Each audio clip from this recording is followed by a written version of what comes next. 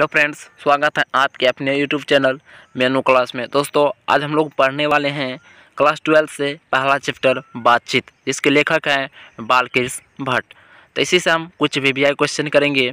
तो चलिए वीडियो को शुरू करते हैं। दोस्तों, अगर आप लोग इस चैनल पर नहीं जुड़े हैं तो प्लीज़ सब्सक्राइब करके जुड़ लीजिए और आने वाले साइड में बेल आइकन को भी क्लिक कर लीजिए, ऑल पर सेट कर लीजिए, क्योंकि इस चैनल पर आप सबको 2022 की तैयारी जारी कर दी हैं।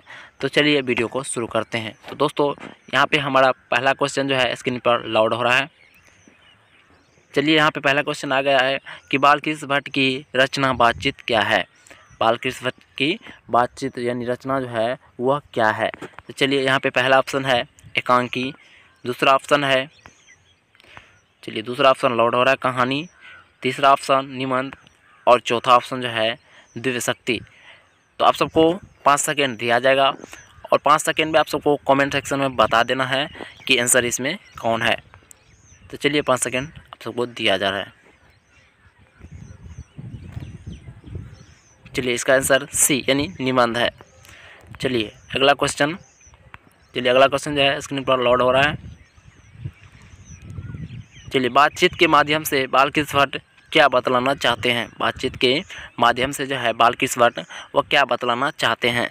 चलिए, ए ऑप्शन है बातचीत की शैली। चलिए, बी ऑप्शन है भाषण की शैली। सी ऑप्शन है संवाद की शैली। और डी ऑप्शन है इनमें से कोई नहीं। तो इसका आंसर जो होगा, चलिए आप सबको पाँच सेकंड दिया जाएगा, तब तक आप सब कमेंट में बता दीजिए।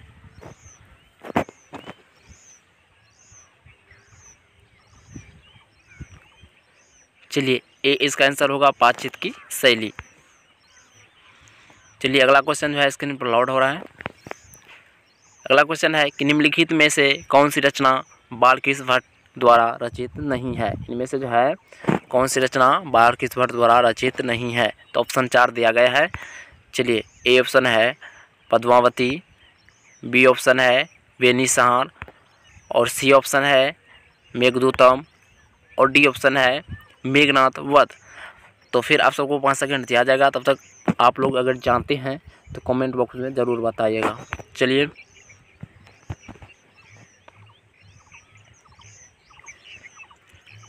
चलिए, इसका आंसर आंसर जो होगा सी होगा, मेघदूतम।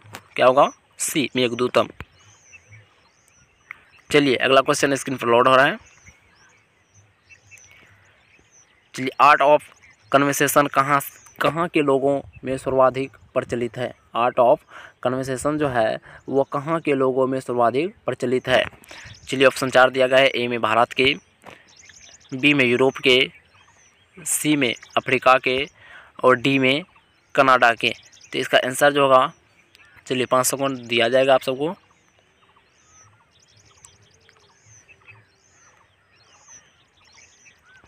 चलिए इसका आंसर जो होगा, यूरोप के। क्या होगा? यूरोप के लोगों में। चलिए, अगला क्वेश्चन जो है स्क्रीन पर लॉड हो रहा है। क्वेश्चन है कि सो अजान एक सुजान उपन्यास के लेखक कौन है? सो अजान एक सुजान उपन्यास के जो है, लेखक कौन है? ऑप्शन चार दिया गया है। चलिए ए ऑप्शन है रघुवीर साय बी ऑप्शन है जयप्रकाश नारायण सी ऑप्शन है बालकृष्ण भट्ट और डी ऑप्शन है मोहन राकेश। सो अजान, एक सुजान उपन्यास के लेखक कौन है? तो चलिए इसका आंसर।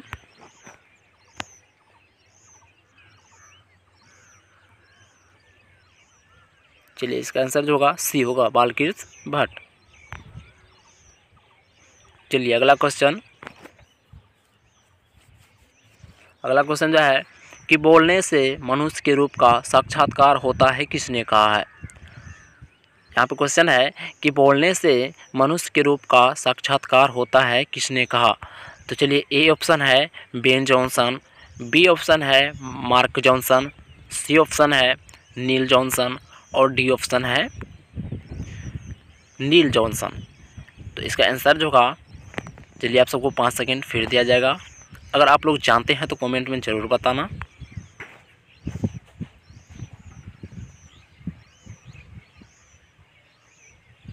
चलिए इसका आंसर होगा ए, बेन जॉनसन ने कहा था। चलिए अगला क्वेश्चन है कि बातचीत में मन किस प्रकार का हो जाता है? बातचीत में जो है, मन किस प्रकार का हो जाता है? चलिए ऑप्शन है, पहला ऑप्शन भारी और बोझिल। बी ऑप्शन है, हल्का और स्वच्छ। और सी ऑप्शन है, मेला कुचेला। और डी ऑप्शन है, क्रोधपूर्ण। तो चलिए इसका आंसर जो होगा, चलिए देख लीजिए, पाँच सेकेंड दिया जा रहा है। बी इसका आंसर होगा, यानी हल्का और स्वच्छ। चलिए अगला क्वेश्चन जो है स्क्रीन पर लोड हो रहा है।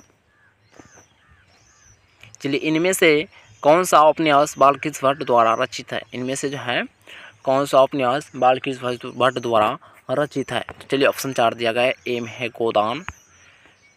बीम है अपने अपने अजनबी, सिम है मेला आंचल और डीम है सो अजान, एक सुजान तो इसका आंसर जो होगा, चलिए पाँच सेकेंड दिया जा रहा है आप सबको। चलिए इसका आंसर होगा, डी, सो अजान, एक सुजान चलिए अगला क्वेश्चन देख लेते हैं। अगला क्वेश्चन है कि निम्नलिखित में से बालकृष्ण भट्ट का निवास स्थान कौन सा है? बालकृष्ण भट्ट का निवास स्थान कौन सा है? तो चलिए ऑप्शन पहला है, इलाहाबाद, उत्तर प्रदेश। दूसरा ऑप्शन है, लखनऊ, उत्तर प्रदेश। तीसरा ऑप्शन है, मथुरा, उत्तर प्रदेश। और चौथा ऑप्शन है, वाराणसी, उत्तर प्रदेश। तो चलिए, पाँच सेकंड आप सबको दिया जा रहा है। अगर आप लोग जानते हैं तो कमेंट में ज़रूर बताना। चलिए, इसका आंसर जो होगा ए यानी इलाहाबाद, उत्तर प्रदेश। क्या होगा? इलाहाबाद, उत्तर प्रदेश। चलिए, अगला क्वेश्चन है कि बालकृष्ण भट्ट ने किस पत्रिका का संपादन किया था? बालकृष्ण भट्ट किस पत्रिका का संपादन किया था? तो चलिए ऑप्शन पहला है ओंकार दूसरा ऑप्शन है हिंदी प्रदीप। चौथा, तीसरा ऑप्शन है आर्यावत और चौथा ऑप्शन है पंजाब केसरी। तो इसका आंसर जो होगा, चलिए क्या आंसर होगा, पाँच सेकंड देख लीजिए आप लोग। चलिए इसका आंसर जो होगा बी यानी हिंदी प्रदीप।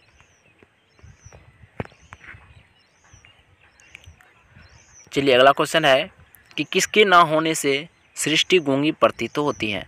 किसके न होने से सृष्टि जो है, गूँगी प्रतीत होती है? चलिए ऑप्शन पहला है, समर शक्ति। दूसरा ऑप्शन है कि श्रवण शक्ति, तीसरा ऑप्शन है वाक्य शक्ति और चौथा ऑप्शन है द्वे शक्ति। तो इसका आंसर जो होगा, चलिए देख लीजिए पाँच सेकेंड। इसका आंसर हुआ सी, यानी वाक्य शक्ति। अगर आप लोग चाहते हैं कि इसी तरह के बी क्वेश्चन आप सबको मिलता रहे तो इस चैनल को सब्सक्राइब करके जुड़ जाइए, क्योंकि इस चैनल पर आप सबको 2022 की तैयारी जारी कर दिए हैं। तो मिलते हैं अगले वीडियो के साथ तब तक के लिए बाय बाय